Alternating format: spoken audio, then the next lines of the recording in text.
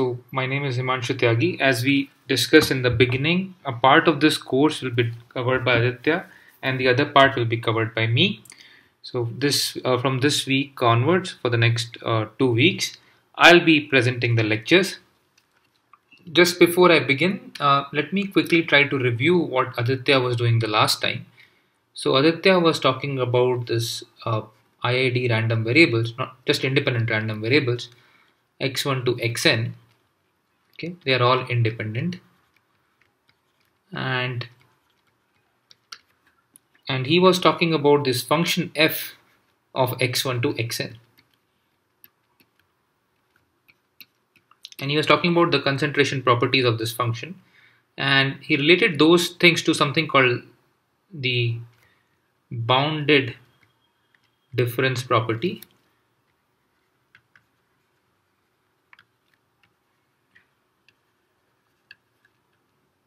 what was this bounded difference property?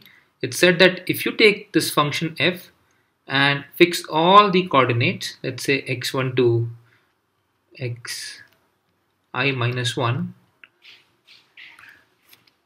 and just allow just one coordinate to change. The ith coordinate.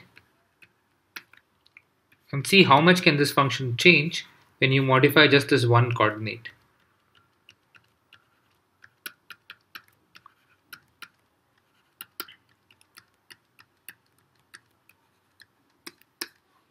okay so these are two different y and y prime. I fixed all the other coordinates and just modified this one guy. And say you take max over all y and y prime and let's say you also take max over all of the remaining coordinates. So you take x1 to xi minus 1 and xi plus 1 to xn.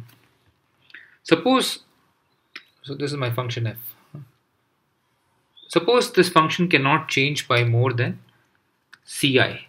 Here this i denotes the ith coordinate and this holds true for all i's between 1 and n. So you have one ci for each coordinate.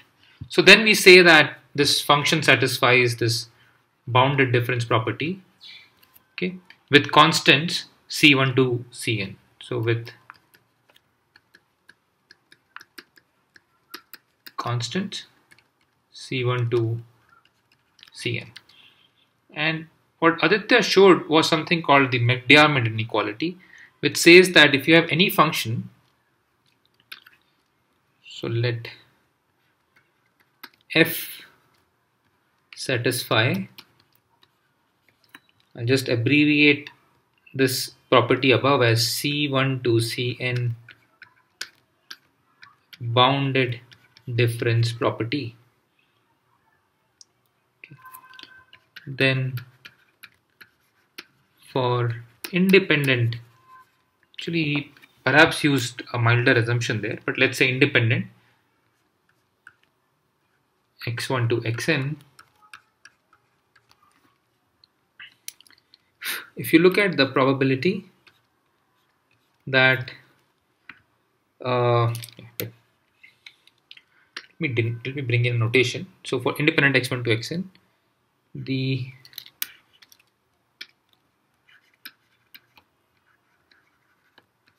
random variable. So the random variable of interest to us is this random variable z which is simply the f of x1 to xn.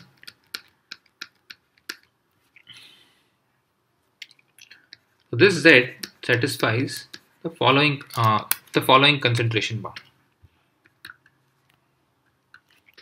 it satisfies this uh, McDiarmid's inequality.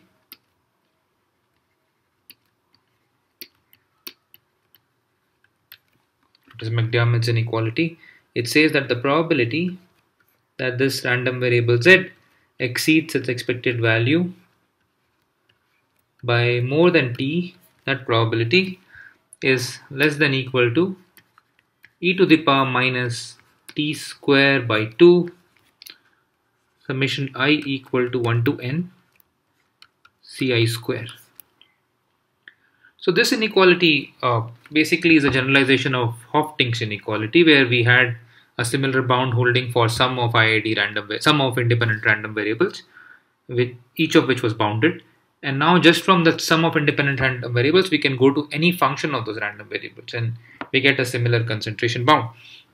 And this concentration bound, if you, uh, I'm assuming you're using this terminology, it's a sub-Gaussian concentration bound. And this guy here is the, the variance parameter for the sub-Gaussian concentration bound.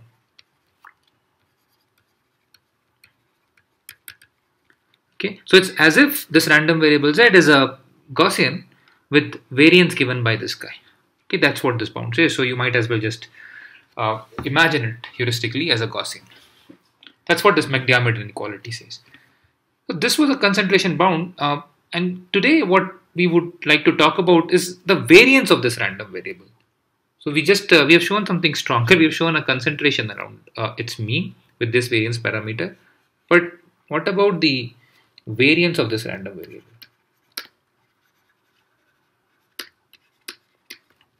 And that's what we will bound today. So it's a slight deviation from this concentration uh, inequality topic that you have been seeing. It's now we are suddenly talking about variance of z. But uh, that's as we will see that firstly this variance is indeed related to concentration bounds and secondly this is of independent interest, you may in some applications be interested in bounding the variance. And to bound this variance, what we can use is sort of a cousin of McDiarmid's inequality. And this is called the Efron-Stein inequality. That's what we will see today, the Efron-Stein inequality. So we can bound can bound the variance using Efron-Stein.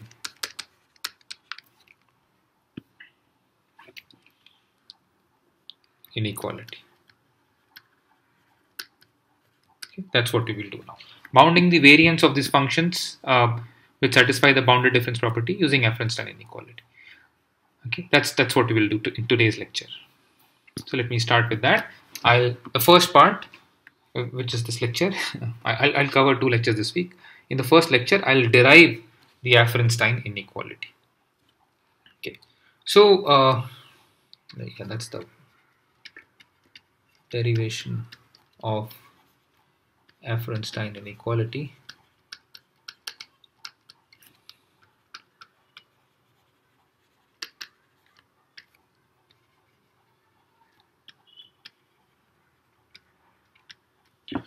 So I'll state the form at the end. Let's go over the derivation of that inequality itself. How, how can we bound the variance of this random variable z?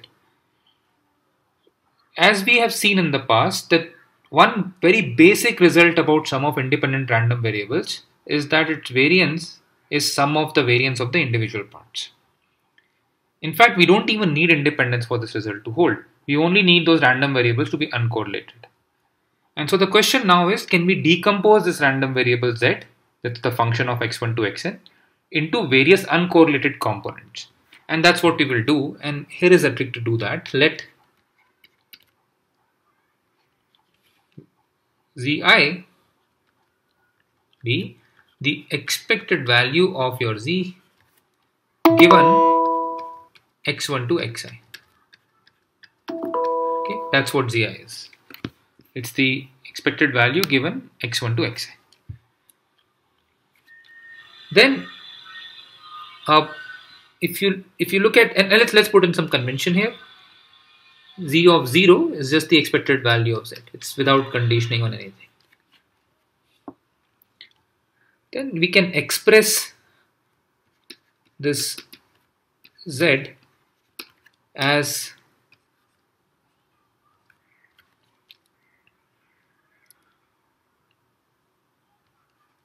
z0 actually we can express this difference z minus the expected value of z this is exactly equal to z minus expected value z0 by the way this z also is equal to z of n so if you condition all the guys you get z So we are doing this telescopic something. So this is Zn minus Z0. So I'll add and subtract things. Zn minus Zn minus 1 plus Zn minus 1 minus Zn minus 2 plus Zn minus 2 and blah blah blah blah blah. Plus minus you will keep on doing. And then minus z0 so what have I done here? It looks like a very simple trick.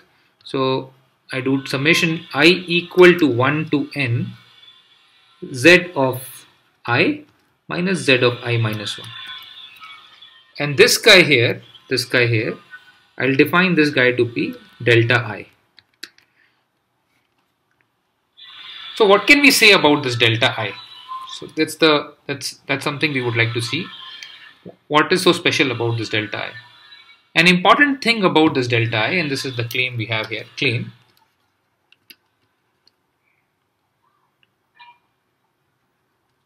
Note that this delta is a random variable by the way.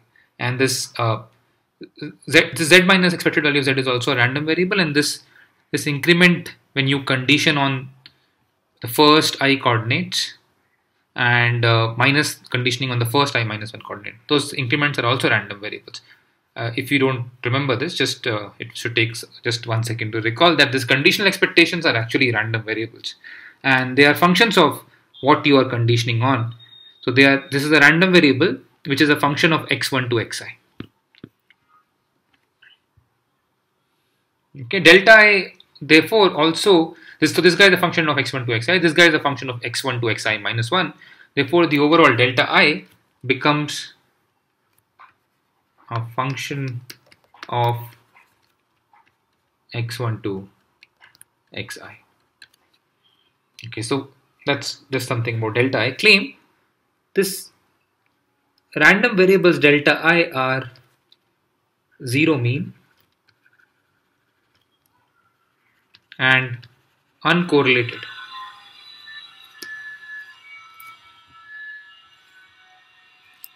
So these random variables delta i for i equal to 1 to n actually i equal to 0 to i equal to 1 to n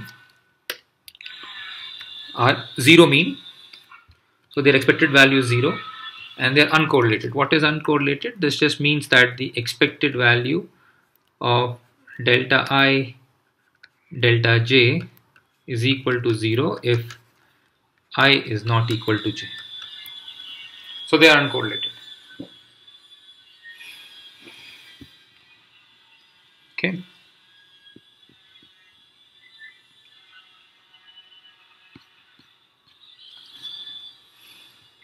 How do we prove this? So this proof is actually an exercise just in conditional expectation. But let's do it for completeness. Let's uh, let's do expected value of delta i delta j for distinct i and j. This is equal to the expected value of expected value of z given x1 to xi times expected value of z given x1 to x j.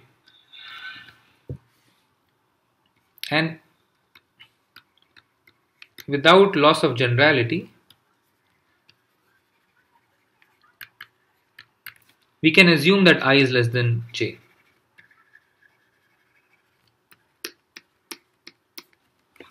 So this, this has this j is conditioning on more random variables than this guy. Ah, sorry, should have yeah. Mm, yeah, should be a little bit more careful here. Uh,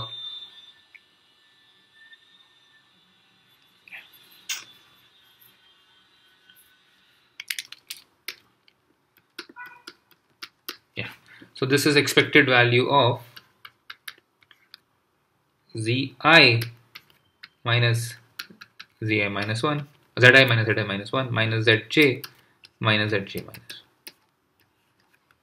That's what delta i is. And this guy equals to the expected value of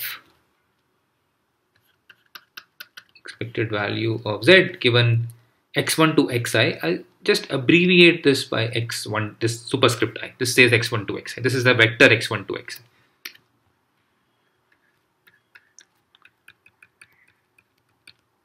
Okay. Just a shorthand. This is my shorthand from here on. So this is now expected value of this given this. And then you have expected value of um, so this times the expected value of z given xj minus the expected value of z given zj minus 1 okay. So note that all these terms here because j is greater than i are functions of xj all these terms here. So I'll use this formula for expectation uh, where I can first, so, so just I'll write this formula here, expected value of any random variable x is equal to expected value of expected value of x given any random variable y. Okay, that's a formula which you should be familiar with. So I'll apply this formula and the random variable y I'll choose is x1 to xj and then everything inside will be a function of x1 to xj x1 to xj minus 1 so this guy here becomes expected value of expected value given x1 to j minus 1 okay? Of what function? Of this this guy here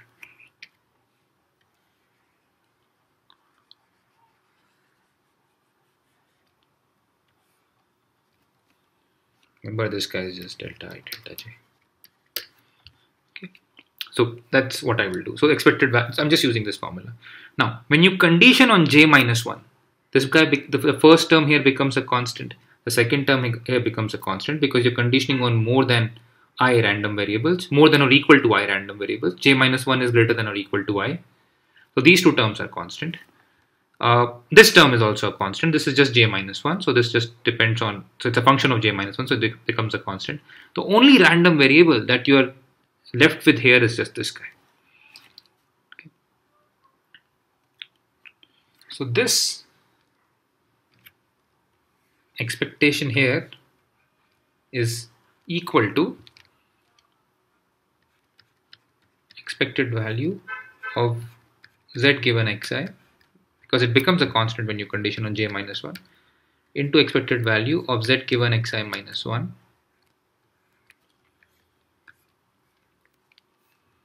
into expected value. Now this is the term which doesn't remain a constant. So it becomes expected value of z given xj given xj minus 1 minus expected value of z given xj minus 1 because this is again a function. So, so the only thing which changes when you do this expectation, this is a constant, this is a constant, this is a constant. The only thing is that you you take this further conditional expectation. So do you know what is this conditional expectation? Here you are conditioning on more and you are averaging over less. So this is this is expected value of z given a b given uh, expected uh, expected value of z given a b the conditional expectation given a. That's just the term outside that will remain. So this is this is exactly equal to this part here is exactly equal to expected value of z given xj minus 1 which is the same as this. So this whole term becomes 0 and therefore this is just 0. So these things are indeed uncorrelated. This becomes 0 and let me zoom out so that you can see the whole proof. Let's see. 175 right? So this thing is just zero.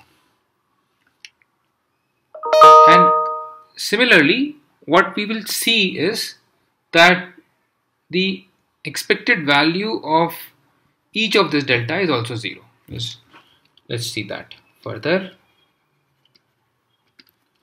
expected value of any of this delta i is expected value. It's a it's a very similar proof. I'll just write it. Of z given xi minus expected value of z given xi minus 1 and now what I'll do again is I'll take conditional expectation given xi minus 1 of this term. So that's can always do that.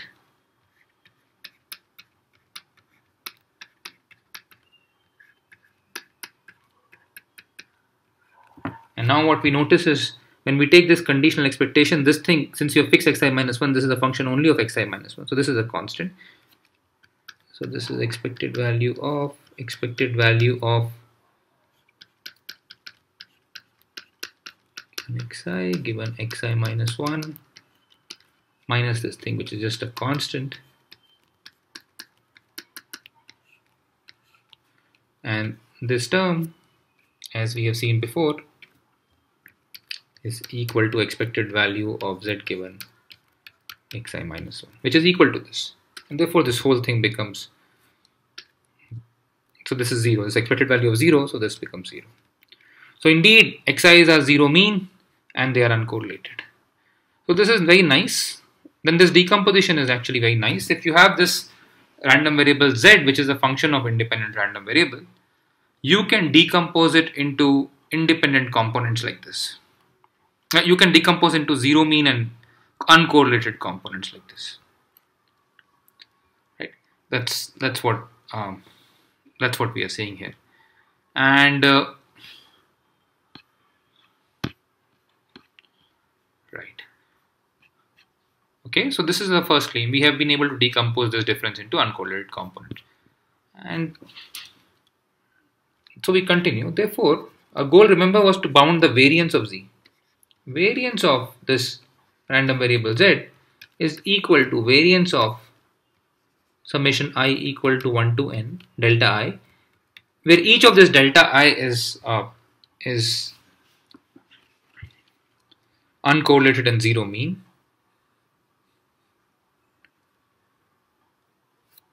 And this variance, yeah, so maybe one step I'll just write, this is just for concreteness. Uh, this is true, this is always true. Okay. And this guy is summation i equal to 1 to n delta i. That's something we just checked, where each delta is zero mean and uh, uncorrelated. And so therefore, since they are uncorrelated, the variance is additive.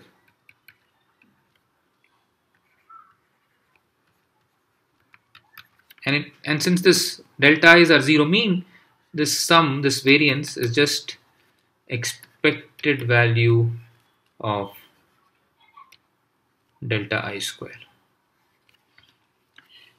Okay. So we'll examine this, this guy now, this expected value of delta i square each of these terms somehow controls fluctuation in one direction. That's very concrete here, this one direction. And we want to see how much that fluctuation can be. So next we look at this yellow term here, the one I've circled here. And this guy here, this term here is just the expected value of delta i square. So remember what was delta i? Delta y, i was expected value of z given xi minus the expected value of z given xi minus 1 whole square. That's what this, this term is. This is this term here. Um, and we would like to simplify this further. So once again, we need to use another property of conditional expectations. We have already used one uh, we've already used this very interesting property of conditional expectation, which I'm assuming all of you are aware of, that the conditional expectation of x is expected value of conditional expectation of x given y. So this is a function of y and this expectation of this function is equal to expected value of x. Now we need another property of conditional expectation and uh, I'll just write it in this specific context. So the claim here is that if you look at this second guy here, this one here,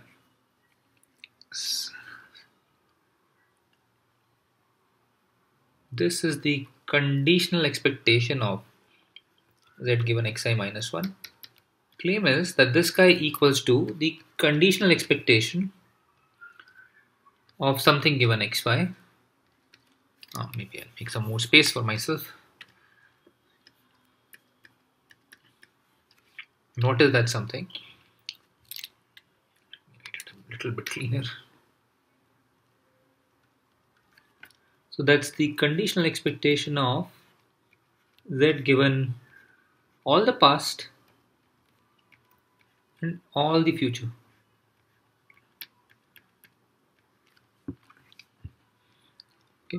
So if you look at this conditional expectation, then uh, this these two are equal. That's somewhat that's that's a result. It's a little bit it looks a little bit complicated. So this part here, let's let's think of let's think about this result. We'll prove it now, but let's just quickly visualize it. We are viewing this function z as a function of three parts. This part, this is the first part, then this part, this is the second part, and what is the third part? And third part is xi. That's the third part. So this z is a function of three parts, and we are conditioning on two of them. And then uh, in the outside part, we are taking another two parts, the the part, the red part, xi minus 1, and the blue part, xi. And this blue part is missing from this first expectation. And the claim is that when you do that, only the first part is left. That's the claim. So that's roughly what you would like to prove. So proof, it suffices to show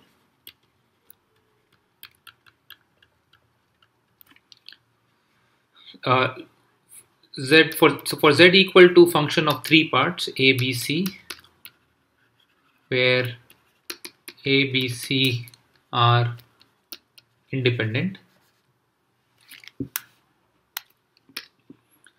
independent. The expected value this outer part here of let me get the inner part. First expected value of z given ac first part and the third part. Conditional expectation of this given AB you would like to claim is equal to the expected value of just the common part is left here z given a. That's what you would like to show and this is almost surely huh, with probability 1 so how do we show this claim? This is what we have to show. It's equivalent to what we have written here.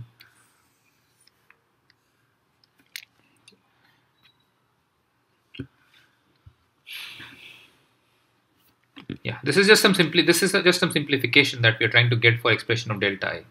It looks a little bit uh, of a digression right now but we'll see soon connected to this expression for variance. All right so coming back to this claim how do we show this? Uh, well this thing here is a function of a and c. And therefore therefore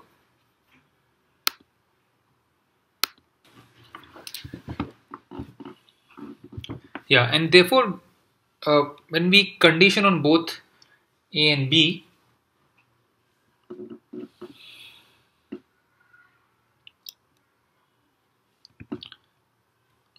this is independent of b. Okay so function of ac condition on both a and b it is independent of b. So we agree with that part. So note that expected value of this is a function of a comma c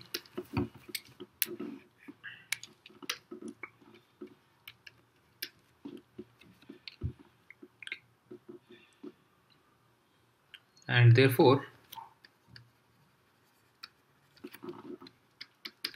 it is independent of B even when given, given condition on A.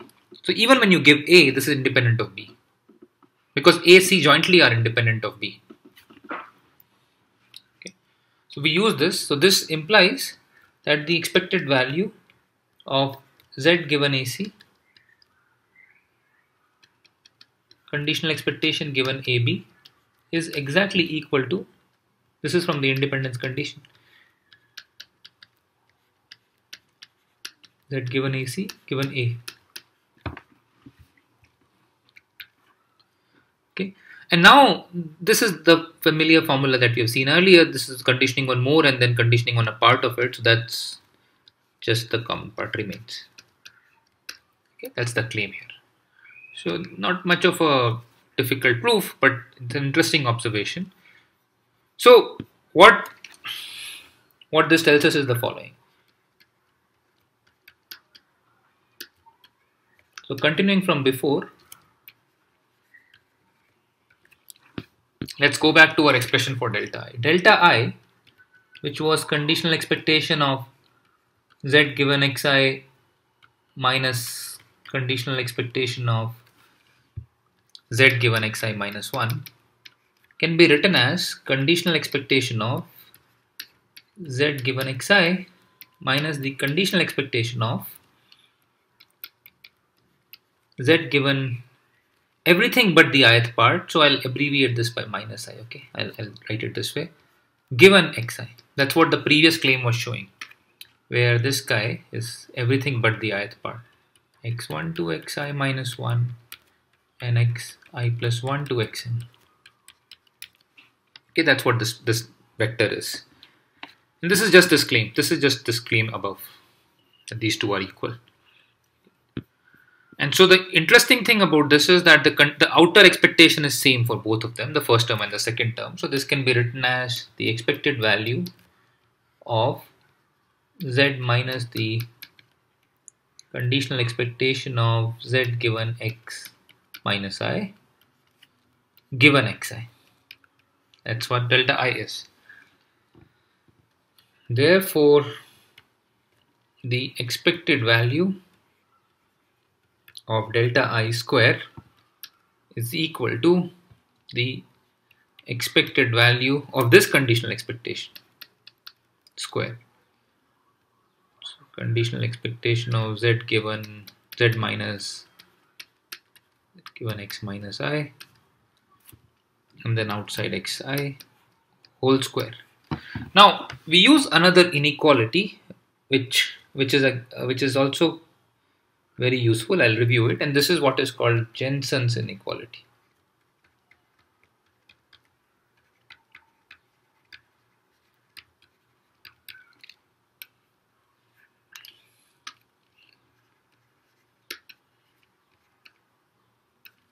Okay, actually in this case, in this case, we don't know what we don't need the most general one, but what this inequality says is that uh, the expected value of a convex function like square is less than equal to the so this is the expected value square.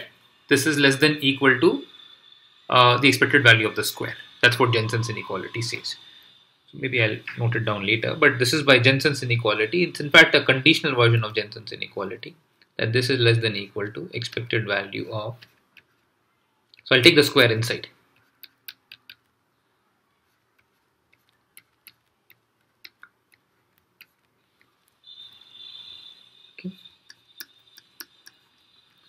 And now this is the expected value of expected value. So that's the formula we've seen earlier. So this is just a single expectation of z minus conditional expectation of z minus x minus i whole square.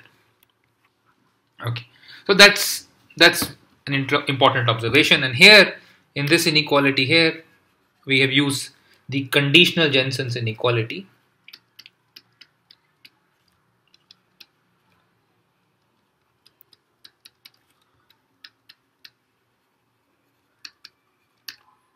Let me quickly review this inequality. So this applies for any uh, any let's say convex function. So convex function let's say g. Uh, what's a convex function? So here we have g of theta 1 x1 let's say theta x1 theta is something between 0 and 1 plus 1 minus theta x2. So you have two points x1 and x2. And what is this? This, this thing is a straight line joining them. And a convex function is the one for which the value of the function at any point on this line is below the average of the values.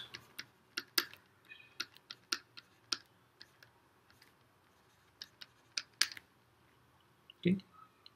This kind of function. The value of the average that's here is below the average of the value which will be in this line.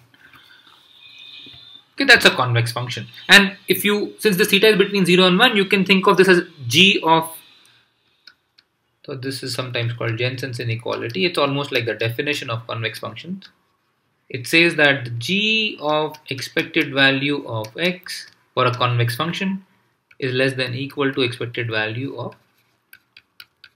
g of x and its conditional version instead of expected value has conditional expected value. So g of expected value of x given y is less than equal to expected value of gx given y. Okay. And now this is a random variable. This inequality ho must hold with some probability and we claim that this holds with probability 1 so it holds almost surely. That's what conditional Jensen's inequality is so the function that we are looking at here this is the conditional expectation and the function that we are looking looking here looking at here is the square function and what this says is that if you take the conditional expectation outside, or if you take the square inside, the because square is a convex function, thing can only increase. So we take the square inside, the conditional expectation outside, and it only increases, and this is equal to this. Okay. Another way is that this is the conditional mean square and this is the second moment of this random variable under condition on xi and second moment is greater than the conditional mean square. This is just like non-negativity of conditional variance of this random this random variable. Okay. So now let's quickly see quickly review what all we have seen. So we had the z uh, z minus ez and we decompose into this uncorrelated component zero mean uncorrelated component delta i and therefore the variance of z was expect sum of expected value of this second moments because they were zero mean. Then after that we notice that in fact each of this delta i can be expressed as uh, as expected value of some centered random variable where the condition with the, with the centering mean is when condition on x minus i. So we use Jensen's and we got this form. So combining everything, combining everything, what we get is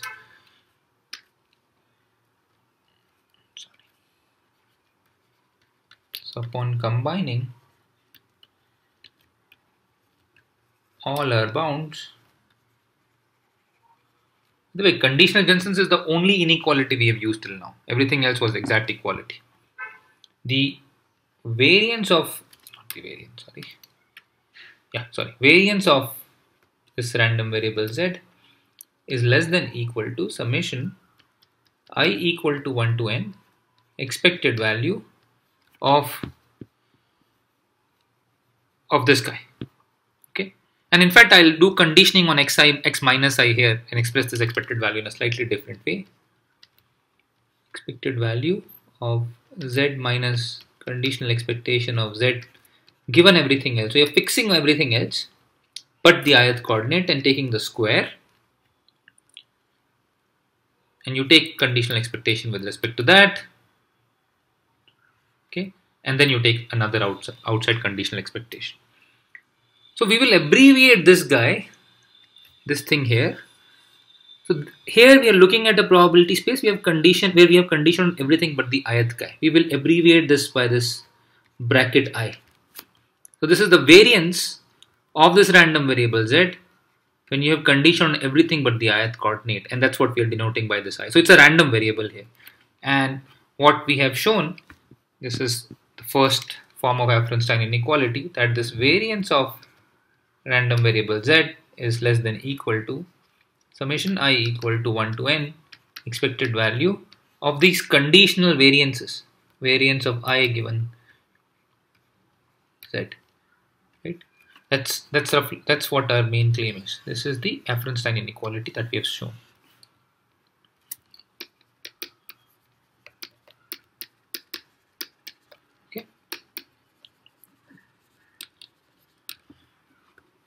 Now, note that this, this is, uh, just to reiterate, this is the conditional variance of the random variable z when you condition on all but the ith coordinate. So it's like the fluctuation in the ith coordinate. You've fixed everything else and only allowing ith coordinate to vary. And when you do that, then you get this conditional variance and this variance is sort of less than equal to the variance or the fluctuation contributed by the individual coordinates. That's the claim of Efron-Stein inequality. Now what we will do is we will uh, will give provide other equivalent forms of this inequality. Okay. So this is the main form. You can stay at it for some time, and now we'll provide some other equivalent form of this inequality. Equivalent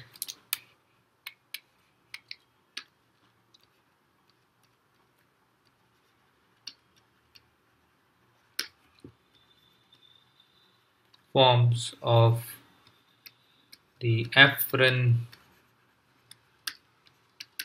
Stein inequality. And these equivalent forms are simply obtained by writing equivalent expression for variances. So first observation, this is just a fact that you can verify. I'll give a homework exercise to verify this. If you have a random variable x and a copy y of it, so for independent and identically distributed random variables x and y, variance of x is equal to half of expected value of x minus y square. That's a claim. Okay, so that's something you can try to show. Actually we can just show it. Let's just show it okay? Let me not leave it as a homework exercise. So this is proof of this fact. Expected value of x minus y square is equal to expected value of x square plus expected value of y square minus 2 times expected value of x minus expected value of y. So this is an independent copy, but x and y are identically distributed. So this becomes 2 times expected value of x square minus expected value of x whole square and this is equal to 2 times the variance of x. Okay, so that's a very simple statement. So if we use this proof here uh, and we'll substitute this in this inner variance, what is this inner variance? We have fixed everything, all the entries except the ith entry. Okay. And now we would like to replace ith entry with its independent copy. How do we do that? So we will have a notation for that. Let zi prime be f of x1 to x xi minus 1. So that those, those entries are fixed to x1 to xi minus 1. Except that the ith entry is replaced by its independent copy. So all the other entries of this random variable, these of this all the other arguments of this functions are fixed as before x1 to xi minus 1, xi1 plus xn, except the ith entry is flipped, is replaced with an independent copy. So where x1 prime to xn prime is an independent copy of independent copy of um, x1 to xn So then, so the zi prime is is an independent copy of so zi prime is an independent copy of z when you condition on everything else. And by the previous fact, if you look at the variance given i of z this is exactly equal to half into the expected value of z minus zi prime square. Of course given all all all but the ith entry so x minus i. Okay these two are equal. This is just by this fact here. And when we plug this into a first form of Efron-Stein, we get the second form of Efron-Stein inequality. It says that variance of z is less than equal to half summation i equal to 1 to n expected value of z minus zi prime whole square. Looks pretty neat. So these different forms may have different applications. Where remember zi prime is obtained by replacing zi prime is just like z except that the arguments are the ith coordinate of the argument x1 to xn is replaced with its independent copy xi prime. That's what zi prime is. Okay, that's the first. Uh, that's the first equivalent. That's the first equivalent form. Well, let me number them. So this is form one reference Efron-Stein inequality, and this is form two. And now finally, I'll give you another form. Uh, this the, the final form will again be obtained by using an alternative expression for variance. I'll also put this as a fact. Many of you may already be aware of this fact. So suppose you have this random variable x, variance of x is something you are looking at. This is actually the minimum mean square error for all square integrable function. So this variance of x is minimum over all um, x prime of expected value of x minus x prime okay where the minimum is over all square integrable basically the ones with finite second moment x prime independent of x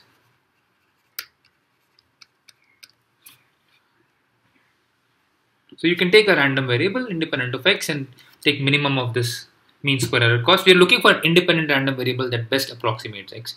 In fact, this is obtained by the mean of x. A constant random variable is the best one here. That's what that's a result you can show. In fact, you can show it by just differentiating if you like. But uh, yeah, there are many ways of showing this actually. A more formal proof, you will do some completion of square. But this is something you may be aware of. For us, we are looking for the random variable x we are interested in is this guy which is this random variable z conditioned on all the other xi minus 1 uh, so there what you have this x prime it's not independent. It's a it's a random function of x1 to uh, xi minus 1 and xi plus 1 to xn. And you minimize this guy over all such random functions. So for us this gives this is some fact that we recall. For us, this gives variance over i of x. This is given all the other guys. Okay. So, so this is a randomized value when everything else is fixed. Right? And therefore this is minimum over all z prime i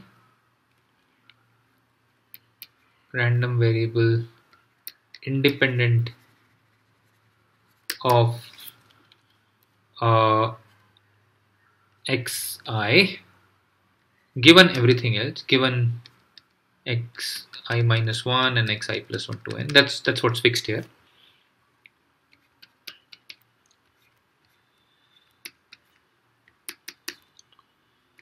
Okay, such that expected value of zi prime square is finite. Right. So, so this is uh, true. This is true almost surely because yeah, this is what, what I mean by almost surely is over all realization of xi minus 1 and xi plus 1 to n. And we have an expectation outside. So we can just view this zi prime as a randomized function of these guys. And we can write the third form.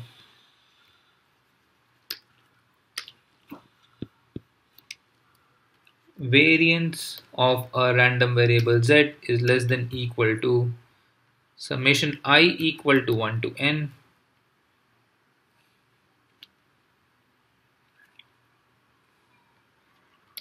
Minimum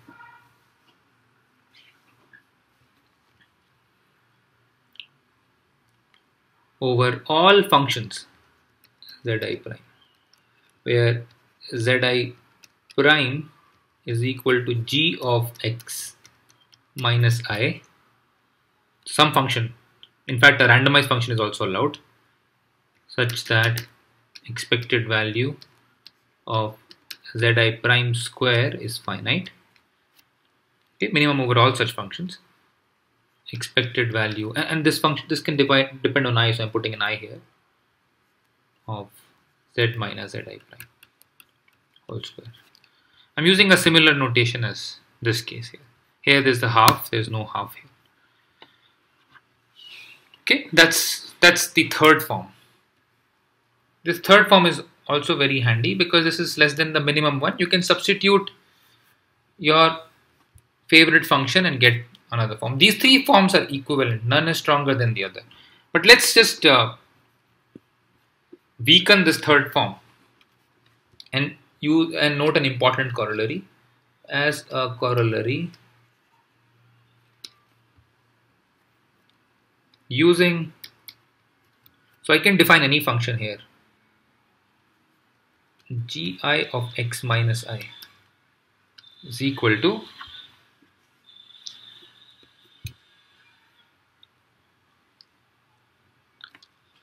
we can we would like to define a function here so that for each coordinate for each coordinate we get that uh, value ci that we had seen earlier that's what we would like to do. So what is that function zi? How would we like to define that function zi? So that function can be defined as half of inf over it's the average of max and min over this coordinate. Let's say xi. Now you have f of you fix everything else x minus i take min inf over this guy x i plus 1 to n plus sup over xi f of x minus i xi x i plus 1 to n okay. so you can define this function this way and since this is min or inf over all such functions, this function is a specific choice. I, should I should have written inf here. I'm being being a little bit casual by saying min. That's all right. So if you look at this function, what is z minus this function zi prime square? So it is it is subtracting the average value from this guy. And therefore it cannot be less than it cannot be more than this implies if f satisfies the c1 c2 cn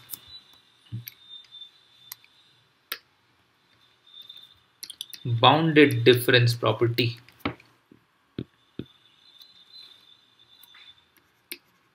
Then z minus gi x minus 1 x minus i is less than equal to ci square by 4 okay you can check that. It's the min of it's the average value that we're subtracting of the two extremes and therefore this is less than equal to this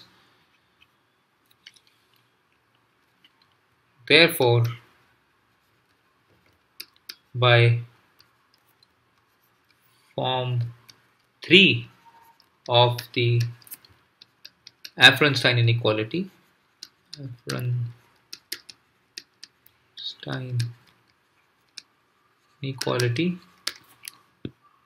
So this is the form 3 I've put in a specific function this one. That's the power of this method. You can put any specific function by the way this is the mean minimum mean square error of uh, estimating z by looking at all the other coordinates. That's what this guy is. By looking at all the other coordinates of xi so looking at x minus i what is the minimum mean square error in estimating minimum mean squared error by in estimating z? So now, yeah, so we have this bound for if the function satisfies the bounded difference property and therefore by form 3 variance of z is less than equal to 1 by 4 summation i equal to 1 to n ci square uh, which is very much like uh, what we had seen in the McDiarmid inequality. Okay, so this Efron-Stein, to conclude this Efron-Stein inequality gives a similar bound for the variance of z itself instead of the variance factor.